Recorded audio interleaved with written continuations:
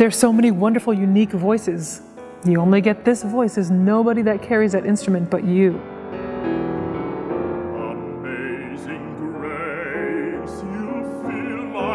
I've seen some unbelievable performances at the Met of Bohème.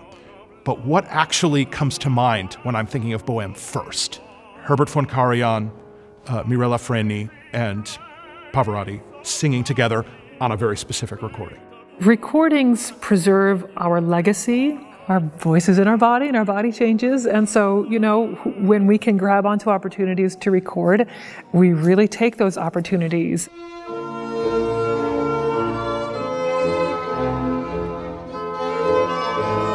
One of the things that's wonderful about recording an album with Cedille is that Brad and I get to make all of the musical decisions. There's a significant amount of artistic freedom that is not available in most traditional operatic settings.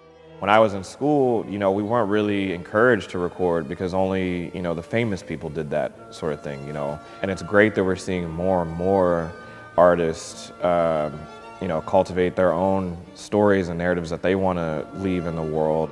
I think that the work that Cedille Records does is really important. The focus on new music, the focus on unusual pieces, and the more we narrow the repertoire, the less likely we are to have a robust audience, a curious audience, and the same is true for all the young artists that we're bringing up who really, there's no shortage of people who want to do what we do, and they're gifted.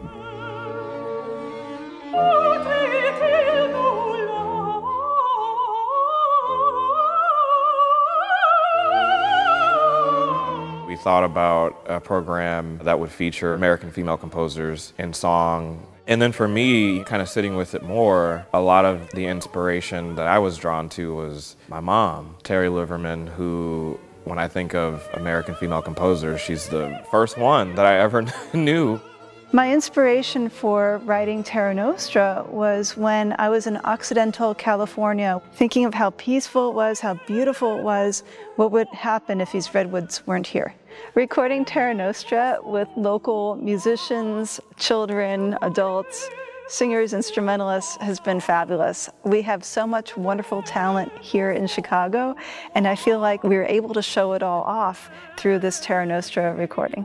I'm particularly excited about the section of our CD of Vitezslava Kapralova, who is an unbelievable female composer who never quite got the recognition that she deserved. And Cedille has been able to make that mission possible of bringing forward this highly underrated female composer that I'm so excited you're going to get a chance to hear.